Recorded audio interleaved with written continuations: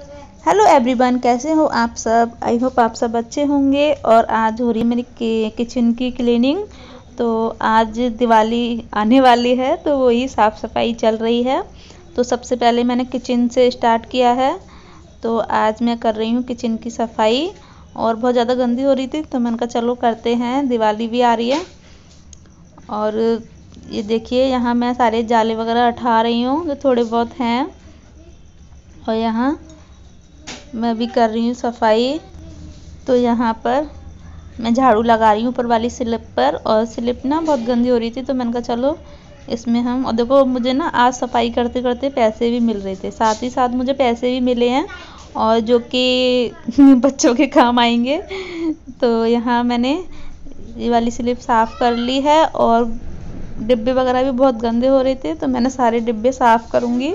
क्योंकि हमारी किचन खुली खुली हुई है ना तो इसलिए सब्ज़ी वगैरह बनाते हैं ना तो उसका ऑयल डिब्बों पे जाके बैठता है तो वो गंदे हो जाते हैं।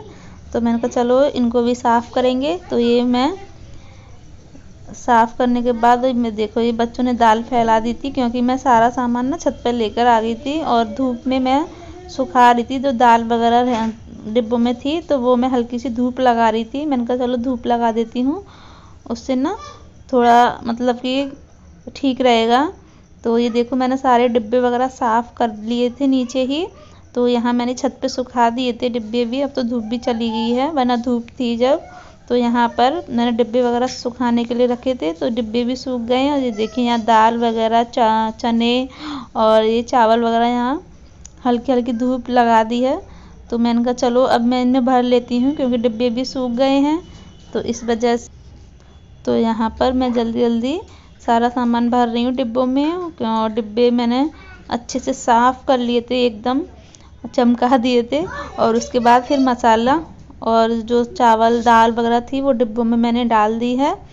तो इसलिए अभी मैं, क्योंकि थोड़ा सा ना धूप लगाना भी ज़रूरी रहता है तो इसलिए मैंने कहा चलो सोच, इसे भी कर देंगे।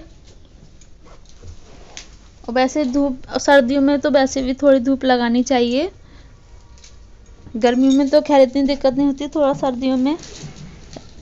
ऐसे रहता है कि चलो थोड़ी सी धूप लगा देते हैं हल्की सी, और ये देखिए, यहाँ पर अभी मैं लगी हुई हूँ। सब चीज़ें, छोले, राजमा वगैरह, ये सब मैं डिब्बों में भर के रख दूँगी, और उसके बाद फिर मैं नीचे जाऊँगी किचन में। तो यहाँ मैंने ना चने थोड़े से उनके छिलके वगैरह थे तो उनको मैं निकाल रही थी प्लेट में से। तो हल्का सा इस तरीके से मैं करने लगी। छिलके अलग कर दिए मैंने। और उसके बाद फिर मैं नीचे आके डिब्बे वगैरह लगाऊँगी।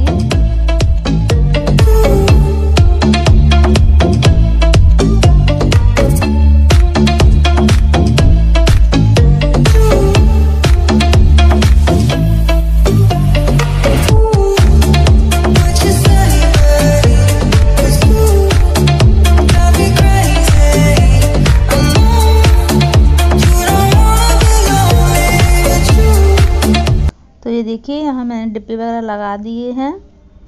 अच्छे से किचन कर दिए सेट किचन हो गई फ्री और अभी रह गए रूम तो रूम की भी मैं करूँगी। आज तो नहीं, आज तो मैं थक गई और कल करूँगी रूम की सफ़ाई। तो अभी मैंने मैंने कहा, चलो जल्दी जल्दी किचन को कर देते हैं। तो यहाँ जल्दी से मैं किचन में लगी हुई हूँ। फिर ना बहुत सारे बर्तन हो गए थे तो फिर बर्तन भी मैंने कहा चलो साफ़ कर देती हूँ। तो यहाँ मैं बर्तनों को भी जल्दी जल्दी साफ़ कर दूँगी, क्योंकि जब तक काम ख़त्म नहीं होता ना, यही रहता है कि बस जल्दी से हो जाए काम। तो बहुत ज़्यादा थकावट हो गई थी, और इसलिए तो यहाँ मैं बर्तनों को भी कर दूँगी।